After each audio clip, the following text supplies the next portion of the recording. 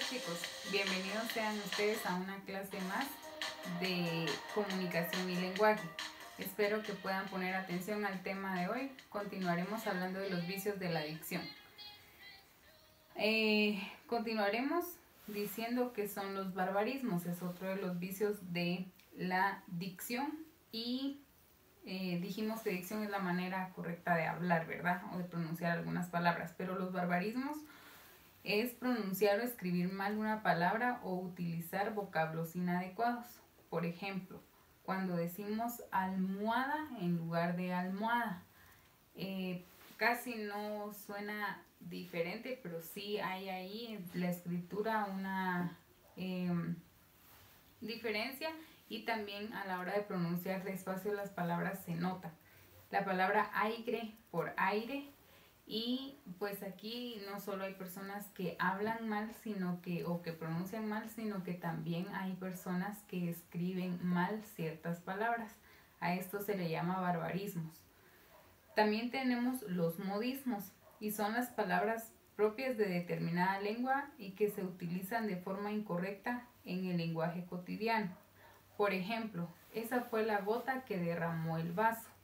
Es como si estuviéramos hablando en sentido figurado, pero son frases que hemos adoptado y que no significan literalmente lo que nosotros estamos diciendo, sino que estamos como queriendo que quien interpreta nuestro mensaje entienda de manera clara lo que nosotros queremos eh, transmitirle.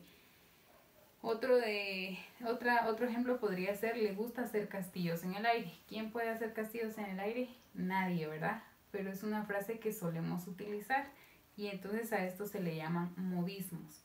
Tenemos también los neologismos, que consisten en utilizar palabras nuevas que aún no han sido aprobadas oficialmente para su uso en el idioma. Con el pasar del tiempo hemos tenido avances en la ciencia y en la, tecnología y hay algunas cosas que han surgido a las cuales hay que ponerles un nombre. Entonces esas nuevas palabras se conocen como neologismos. Cosas que hace mucho tiempo no existían atrás, hoy sí, y hay que buscarles una forma de llamarlas. Entonces los neologismos son palabras nuevas que adoptamos para referirnos a ciertas cosas que han ido surgiendo con el tiempo. Los solecismo o el solecismo, este afecta las reglas gramaticales de la oración, dificultando su comprensión. Hay algunas frases que, que nosotros decimos mal. Por ejemplo, te querré por siempre no es la manera correcta de decirlo. Es te querré para siempre. Ha habido poca gente. Eh, ese es han habido poca gente, es una forma incorrecta de decirlo. La forma correcta sería ha habido poca gente.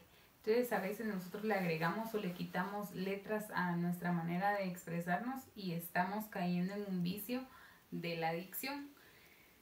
Por último tenemos el queísmo, que es el que altera la correcta pronunciación al introducir la palabra que ante cualquier palabra. Por ejemplo, estoy seguro que me llamarán.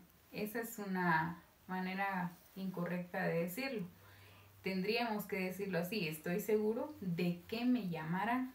Ese de hace la diferencia porque lo estamos acompañando al que. Pero hay gente que solo dice el que y no le pone ningún acompañante y se oye un tanto mal la pronunciación de estas frases o de las cosas que nosotros muchas veces decimos. Los vicios de la adicción eh, lo único que pretenden entonces es marcarnos aquellos errores que no deberíamos de cometer al momento de comunicarnos.